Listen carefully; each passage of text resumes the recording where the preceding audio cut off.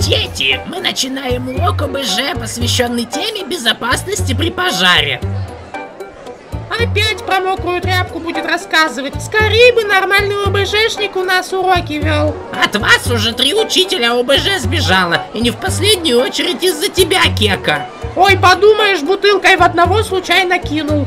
Это был коктейль Молотова. На ваше счастье, школа нашла вам учителя, с которым вы не заскучаете. Это генерал-майор службы спасения Тосол Изольдович. Заходь. Всем привет, ребята! Меня зовут дядя Страхуев. Знаете ли вы, как нужно действовать при пожарной тревоге? А как выглядит эта пожарная тревога? Сейчас я вам покажу на практике. Для начала нужен пожар. Теперь нам нужно только дождаться, когда кто-нибудь в коридоре заметит пожар и включит пожарную тревогу. Что такое? Это пожар? Где мое ведро? Пожарной тревоги нет. Ничего, попробуем еще раз.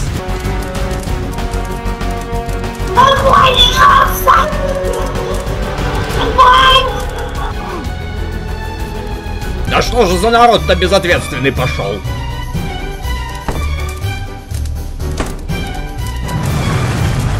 Куда? Давай, давай.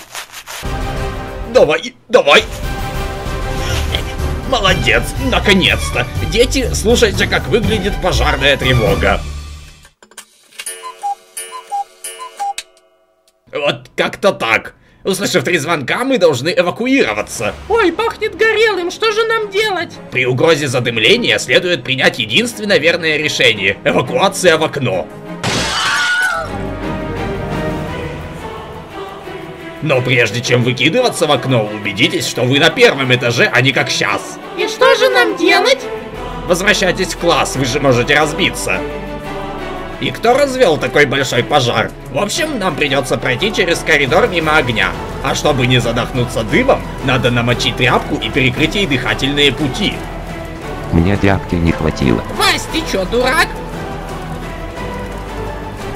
При готовке шашлыков надо намочить тряпку и перекрыть ей дыхательные пути. Вот мы и в безопасности. Теперь вы знаете, как спасаться от пожара.